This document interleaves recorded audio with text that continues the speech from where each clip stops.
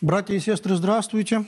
Предо мной проповедь слова предстоятеля нашей церкви, патриарха Кирилла, разосланная по всем приходам города Москвы, э, с тем, чтобы зачитать его, я нахожу э, уместным и необходимым зачитать его более широко и для тех, кто э, не бывает за богослужением регулярно.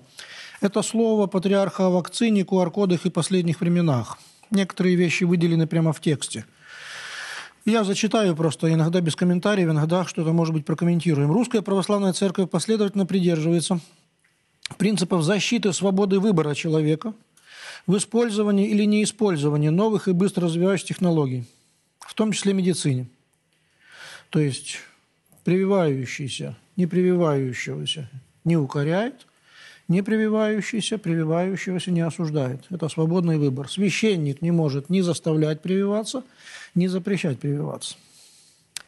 В то же время участники встречи, это епархиальное собрание, напомнили, что исторический опыт Русской Православной Церкви знает примеры активного участия священнослужителей в распространении практики вакцинации, благодаря которой многие известные в прошлом эпидемии сошли на нет.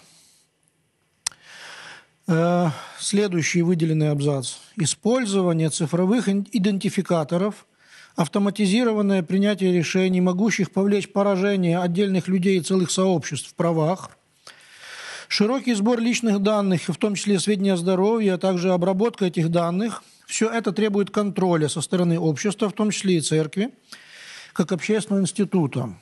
Значит, в этом документе, в этом слове говорится много о том, что современный мир, отчужденный от человека – переведенный в область виртуальную, цифровую, могущество этих цифровых технологий, значит, оно может привести, повлечь за собой э, неумолимые действия этого аппарата принуждения, оснащенного могуществом цифровых технологий. То есть, в принципе, патриарх высказывает все страхи и опасения, которые ходят в обществе и в верующих людях, и неверующих. Люди обеспокоены введением механизма разрешительного кавычках, порядка предоставления различных прав и возможностей, посещение публичных акций, различных посещения храмов там, и так далее, перемещение с места на место, которые ранее никем не подвергались сомнению и были общедоступными.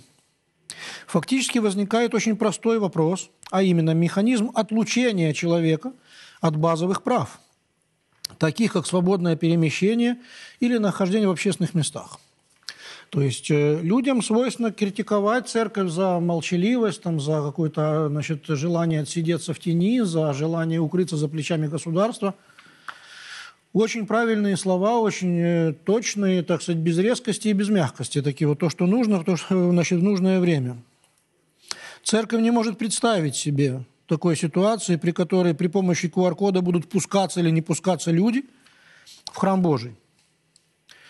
Совершенно немыслимо, если цитировать, чтобы для входа в храм от прихожанина требовалось предъявление QR-кода или какого-либо еще иного гражданского разрешительного документа. Вопрос широкий характер носит. Патриарх упоминает о том, что он с трибуны Государственной Думы в ходе парламентских чтений в прошлом году говорил о том, что цифровизация жизни несет опасность, поскольку обработка данных и доступ, слив данных, кстати говоря, утечка данных, человеческий фактор – значит, может э, поразить в правах огромное количество людей, может лишить нас элементарных прав и свобод. Об этом открыто говорит церковь, президенту, законодательному собранию и всем остальным. При этом очень важно еще добавление. Грехом является и сеяние паники. Многие люди рассуждают о QR-коде как о печати Антихриста. И такие рассуждения уводят людей от понимания того, что порабощение Антихристому духу – состоит в отказе от верности Господу в своих делах, словах и мыслях, в отказе от пребывания в церкви, а пресловутая печать является всего лишь внешним знаком и видимым выражением совершившегося уже апостасии, от которой будем твердо хранить себя в любви ко Христу. То есть антихрист пока не действует как личность, но его дух действует в мире, и люди, которые покорились антихристову духу, потом примут его как личность. Это закон на все времена. Многие не дожили до антихристовых времен, однако жили в духе антихриста и будут чужды Царства Божия. В общем, очень хороший документ, который по неизбежности поссорит людей с патриархом еще больше, потому что как только правда сказана, то ревнители горячие справа обижаются на мягкий характер документа, а теплохладные там и расслабленные, значит, обижаются на некую там резкость, которая прозвучала. То есть правда, звучащая из уст любого человека, делает этого человека, глаголющего правду, врагом тех, кто с правдой не согласен.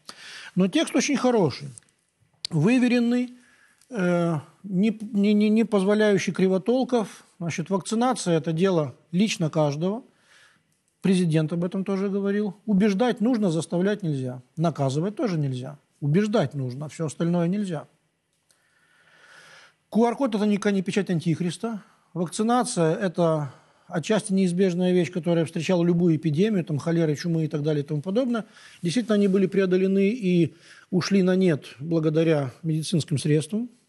Ну и страхи в обществе должны быть понижены. И QR-код не должен использоваться как средство считывания информации из человека и поражения его в главных и базовых гражданских правах. Э, в общем, я предлагаю к вашему ознакомлению э, текст слова патриарха на епархиальном собрании. Они должны были быть зачитаны в всех церквах Московской епархии, по крайней мере. Э, хорошие слова на нужную тему. Страхи прочь, будем серьезны. До свидания.